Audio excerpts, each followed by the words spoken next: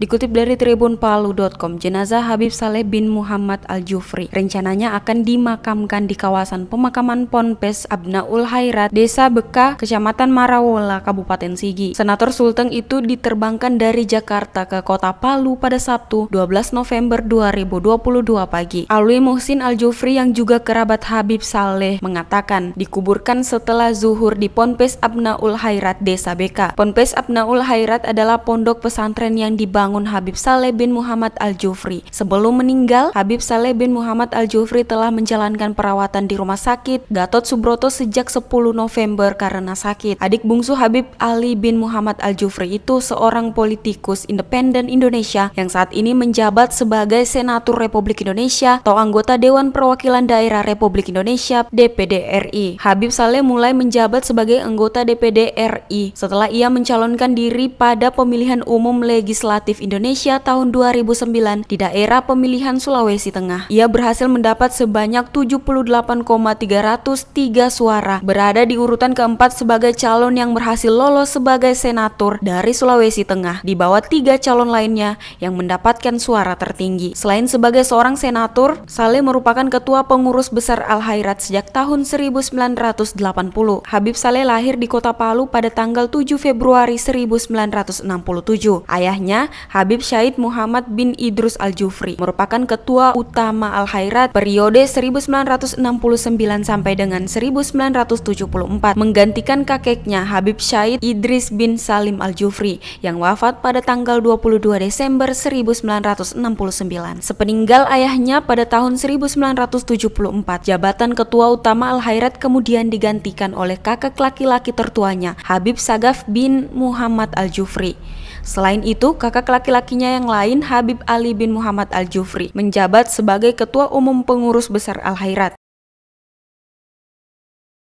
Dikutip dari tribunpalu.com, peringati Hari Kesehatan Nasional ke-58 tahun, Persatuan Perawat Nasional Indonesia atau PPNI Kabupaten Poso menggelar berbagai kegiatan yang dipusatkan di Desa Sintuwu Lemba, Kecamatan Lage. Kegiatan dengan tema Bangkit Indonesiaku, Sehat Negeri, bertujuan untuk membangkitkan kembali semangat dan optimisme seluruh lapisan masyarakat Indonesia yang secara bersama, bahu-membahu dan gotong royong dalam menghadapi situasi pandemi sehingga masyarakat Indonesia dapat kembali sehat dan tumbuh untuk beraktivitas dan produktif. Ketua PPNI Poso Bambang Hermanto mengungkapkan, dipilihnya Desa Sintuwu Lemba sebagai lokasi kegiatan HKN tahun 2022 dikarenakan Desa Sintuwu Lemba merupakan desa binaan PPNI Kabupaten Poso. Bambang Hermanto juga menyebutkan terdapat enam kegiatan yang digelar secara serentak, di antaranya senam bersama, posyandu balita, posbindu, pemeriksaan faktor resiko PTM,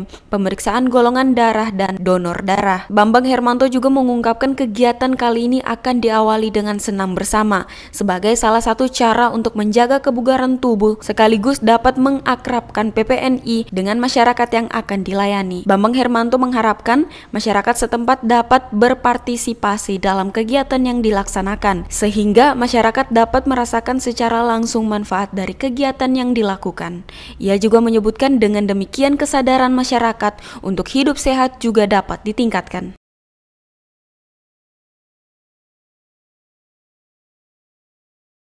Dikutip dari polrestouna.com, untuk memastikan jalannya pawai karnaval peringatan Hari Pahlawan tahun 2022 di Kabupaten Tojo Una-Una berjalan aman, lancar dan kondusif, Polres Tojo Una-Una menerjunkan puluhan personil dalam rangka pengawalan dan pengamanan pada Jumat 11 November 2022 sore. Pawai karnaval diikuti oleh siswa-siswi SD, SMP, dan SMA ini menempuh rute start dari lapangan Dondo sepanjang Jalan Trans Sulawesi dan finish di SMA Negeri 1 Ampana Kota, Jalan Tadulako, Ampana. Ratusan penonton memadati sepanjang jalan di rute tersebut. Para siswa yang mengikuti pawai ini menggunakan keanekaragaman kostum, mulai dari pakaian adat, profesi, dan lainnya. Kapolres Tojo Una-Una AKBP Rizky Farasandi SIK melalui Kabak OPS AKP Mulyadi mengatakan bahwa dalam acara pawai karnaval peringatan Hari Pahlawan tahun 2022 di Kabupaten Tojo Una-Una, Polres Tojo Una-Una menerjunkan puluhan puluhan personil gabungan, baik dari Polres Tojo Una-Una maupun Polsek jajaran. Kabak OPS AKP Mulyadi mengatakan untuk memastikan kegiatan Karnaval Pawai Karnaval memperingati Hari Pahlawan tahun 2022